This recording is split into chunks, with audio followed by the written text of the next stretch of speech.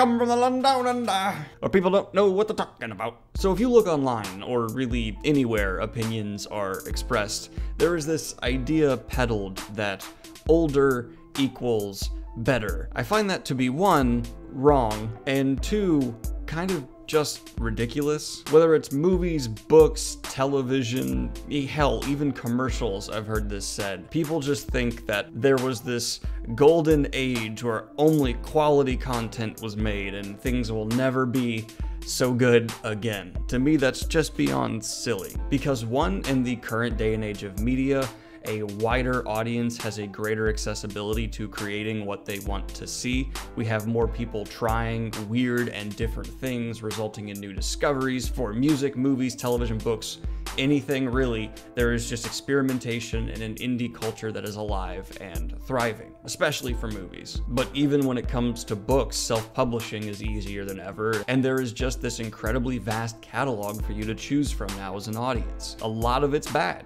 yes, but a lot of it's really good, new, and different. And I feel like all of this can be explained very simply to the 10% of people online who say this and don't get a very basic truth. C come here, come here a little bit. Just come here, come here. We don't still watch and read the really bad stuff from back in the day, so that's why you forget it exists. It's literally that simple we just don't still keep around the shittily made things from the 80s, 70s, 60s, 50s, 40s, what have you, and we've moved on and only really go back to the things that have influence or were done incredibly well. That's kind of how time passing works. You keep the quality, you scrap the crap. No one's going back and watching the really horrible Chevy Chase Dan Aykroyd film, Nothing But Trouble. Instead, we go back and watch things like Caddyshack or Ghostbusters, because those are really good.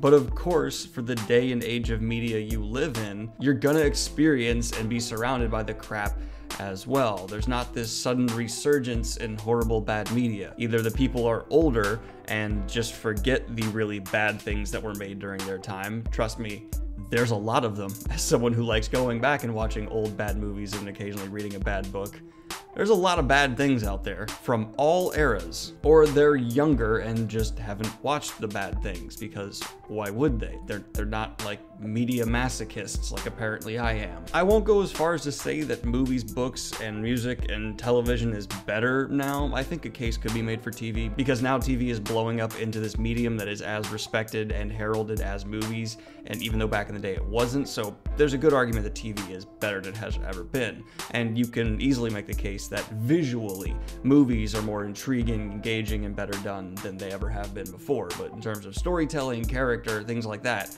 well, we've certainly evolved and grown a little bit from the roots. Those roots are still remarkable, and some of which have never been reached again in terms of quality. Pretty much like The Shining is the greatest horror movie ever made, and I can't really think of another film that's come close to capturing what that movie did. In fact, kind of all of Kubrick's catalog is the best of each genre, but there's new directors who are certainly giving him a run for his money. Denis Villeneuve, I can't really say his name right. If anyone's on track to be a new Kubrick, it's him, a currently working, fairly new director, and guess what?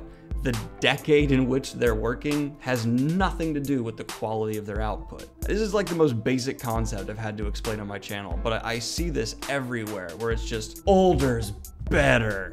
No, it's not. you just filter out the shit. That's why we rewatched the original Superman and not Superman 3 with Richard Pryor. How do people not, how, how does that not, that, that, just, that shouldn't even need to be taught. It should be a logical conclusion anyone can reach with four seconds of thought, but apparently not. Anyway, guys, this is just another quickie video I'm putting out while I'm on vacation. This was recorded weeks ago. I hope you enjoyed it. Like and subscribe if you have not already. If there's some huge controversy around me I haven't been able to address because I'm on vacation, sorry. And I hope y'all are having a great one as well. Peace.